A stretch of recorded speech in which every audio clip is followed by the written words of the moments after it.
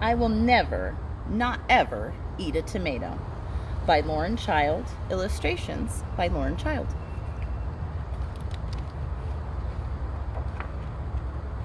I have this little sister, Lola. She is small and very funny. Sometimes I have to keep an eye on her. Sometimes mom and dad ask me to give Lola her dinner. This is difficult because she is a very fussy eater. Lola won't eat carrots, of course. She says carrots are for rabbits. I say, what about peas? Lola says peas are too small and too green. One day I played a trick on her. Lola was sitting at the table waiting for her dinner and she said, I do not eat peas or carrots or potatoes or mushrooms or spaghetti or eggs or sausages. I do not eat cauliflower or cabbage or baked beans or bananas or oranges. And I am not a fan of apples or rice or cheese or fish sticks. And I absolutely will never, not ever, eat a tomato. My sister hates tomatoes. And I said, well, that's lucky because we are not having any of those things. We are not going to eat any peas or carrots or potatoes or mushrooms or spaghetti or egg or sausages. There will be no cauliflower, cabbage, baked beans, bananas, or oranges. We don't have any apples or rice or cheese or fish sticks, and certainly no tomatoes. Lola looked at the table. Then why are these carrots here, Charlie? I don't ever eat carrots.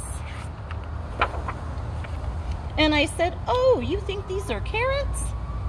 These are not carrots. These are orange twiglets from Jupiter. They look just like carrots to me, said Lola.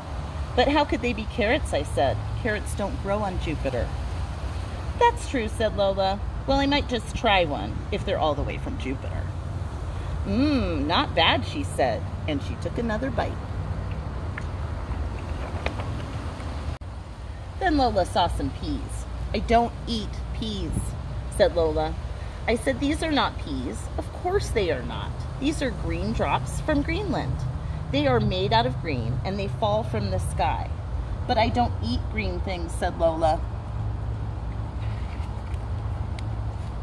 Oh, goody, I said. I'll have your share green drops are so incredibly rare. Well, maybe I'll nibble just one or two. Oh, said Lola, quite tasty. Next, Lola saw the potato. I will not eat a potato, so don't even try, not even mashed.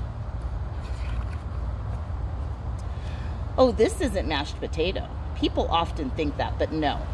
This is cloud fluff from the pointiest peak of Mount Fuji. Oh, said Lola, in that case, a large helping for me. I'd love to eat clouds. Charlie, she said, those look like fish sticks to me, and I would never eat a fish stick.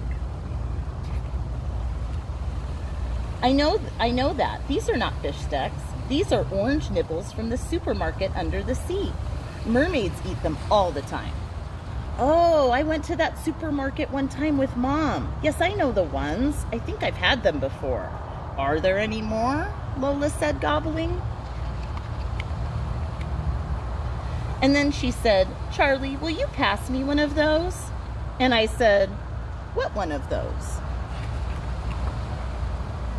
And Lola said, yes, Charlie, one of those. And I couldn't believe my eyes because guess what she was pointing at? The tomatoes. And I said, are you sure? Really? One of these? And she said, yes, of course, moon squirters are my favorite. You didn't think they were tomatoes, did you, Charlie? The end.